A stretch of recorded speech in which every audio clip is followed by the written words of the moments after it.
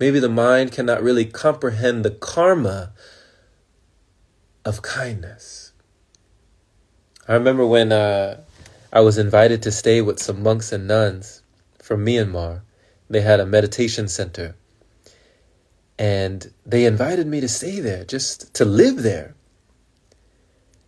And it was during a time when even my own family members, my own flesh and blood, you could say,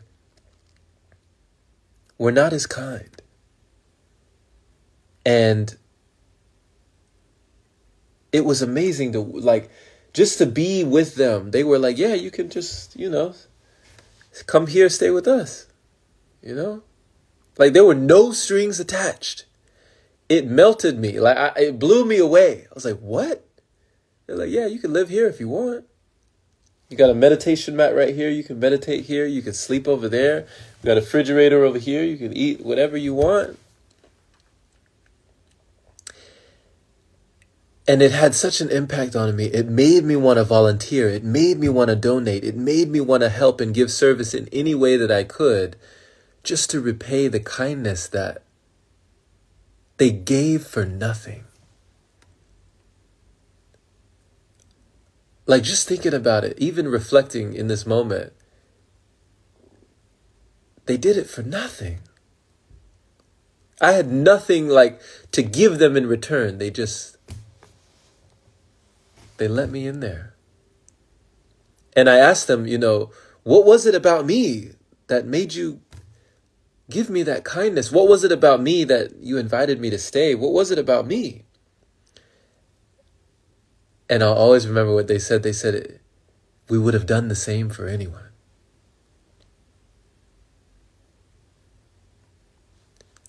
So we would have done the same. We actually, we've invited many people, but most people said no. Don't know why, but they just turned us down. They said no.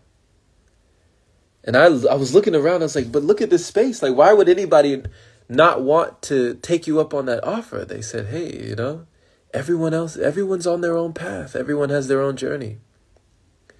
And they had a word for it in Burmese, paramita, many paramitas, many good deeds. They were all about doing good deeds. And they said, Jerome, you must have done something in the past to lead you here now. So we don't know what you did, but there must have been something that you did or, or some things that you must have done to lead you here. Otherwise, you would have never found us. You would have never found this place. that was their logic. It must have been something you did that led you here. And it gave me so much gratitude. I was like, wow, I have the opportunity to just be here to just live here, free of rent, in California, in Los Angeles, in Baldwin Park, in a place where people were struggling paycheck to paycheck. I'm paying nothing, surrounded by monks and nuns with shaved head, wearing three robes and you know, going and collecting donations and doing alms round. And I'm just here existing in a place where people are struggling and I'm at peace and I'm able to meditate and I'm able to practice. And what did I do to deserve this? That was the feeling. They said, Jerome, you must have done something. Can't say what you did, but it, you would have never found this place. I said, wow. so, blessings, what have you done Baby girl says, The kindest thing I've received was words at my lowest. What were the words? Do you remember the words? Do you remember the words that you received when you were at your lowest point? I remember watching a show called Avatar The Last Airbender, and it was the legend of Korra, and she was at her lowest point. She was ready to shed tears she had so many fears, so many worries, so many concerns, but there was a lesson to be learned. And in that point where she thought the ancestors, the spirit guides, the universe, and all had abandoned her, she turned around. A voice behind her said something. She turned around and it was Aang. Aang, the last airbender, he was standing there. And he said that it is when we are at our lowest point that we are ready for the greatest change.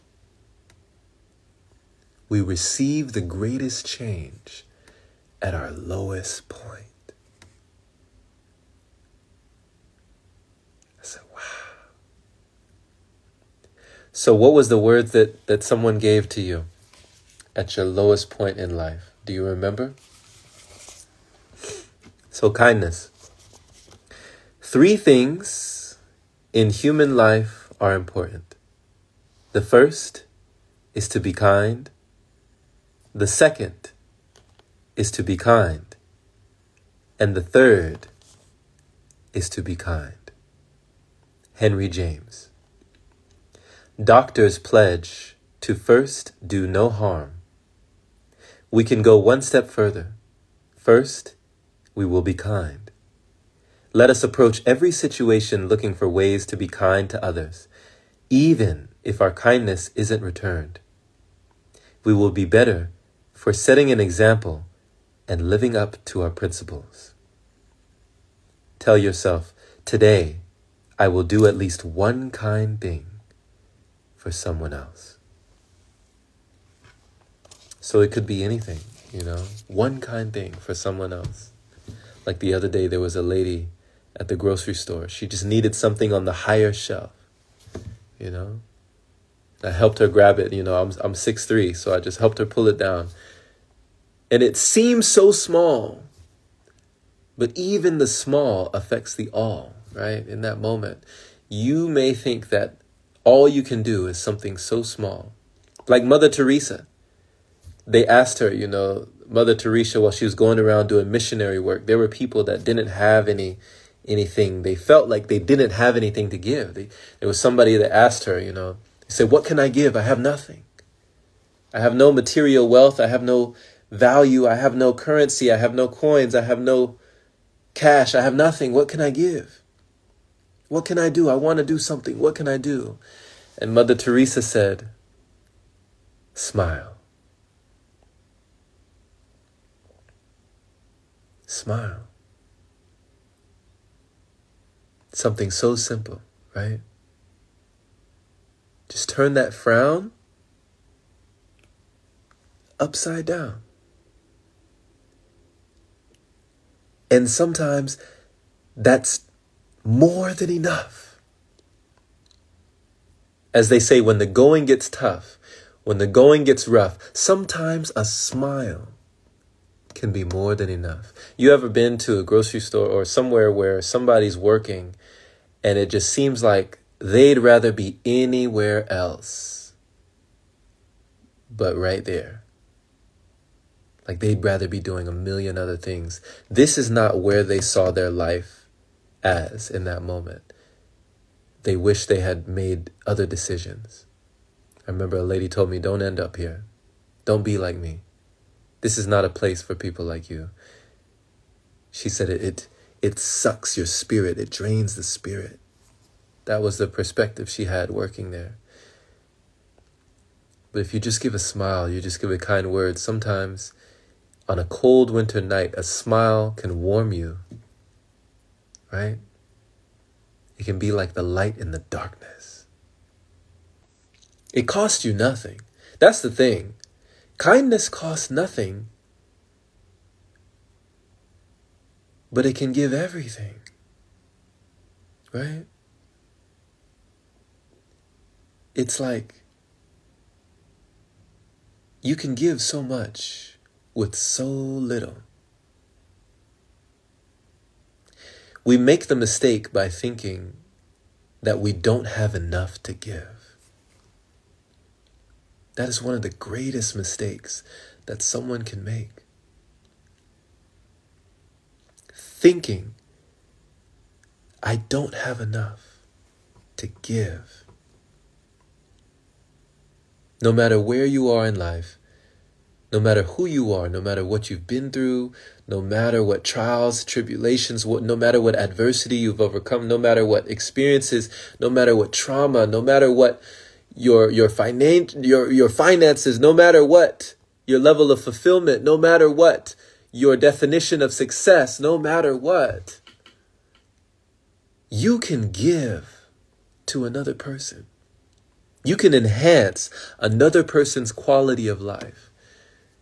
And to think that you can't, it's an error of judgment. It is a grave mistake to believe that there is nothing they could receive, right? It's like, who am I? Who am I? But you are everything. Not only are you everything, you are more than enough.